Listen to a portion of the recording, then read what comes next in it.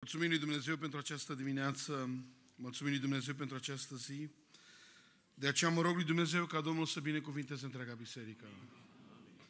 Cred și uh, în timpul rugăciunii am meditat la prețul care s-a plătit pentru noi. Dumnezeu a pus o valoare în sufletul tău și această valoare s-a plătit cu un preț imens. Răscumpărarea noastră n-a fost cu lucruri care sunt omenești. Prețul mântuirii noastre a fost însuși cu sângele Domnului Isus Hristos. De aceea mă rog lui Dumnezeu ca Domnul să binecuvinteze biserica. Ai o valoare care Dumnezeu a pus-o în tine. Noi ca oameni eram limitați și transformarea noastră nu se putea să fie făcută prin oameni. Nimeni n-a schimbat viața noastră. Chiar dacă mulți au căutat socializarea noastră, atitudinea noastră, pregătirea noastră, cel care s-a coborât la noi este însuși Domnul Isus Hristos. Cel care a pus o valoare în sufletul tău, în inima noastră, în viața fiecăruia, lăudat să fie Domnul. Dacă dintr-un pescar pe nume de Petru, dintr-un om simplu, om de rând, un pescar, care în oameni, în ochii oamenilor era un om în care n-avea probabil o autoritate, o cinste, Dumnezeu l-a făcut un apostol. Dumnezeu l-a făcut o stâncă.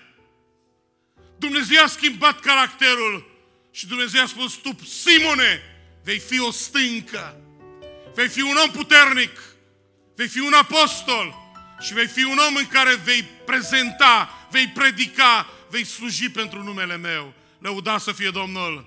Dacă dintr-un uh, Pavel prigonitor, un om care a făcut rău creștinilor, Dumnezeu l-a schimbat să fie un apărător al creștinilor și un apostol.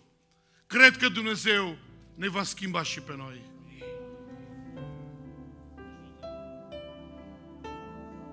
Lasă-te transformat de puterea lui Dumnezeu. Aș vrea în această rugăciune să rugăm pe Dumnezeu, Doamne,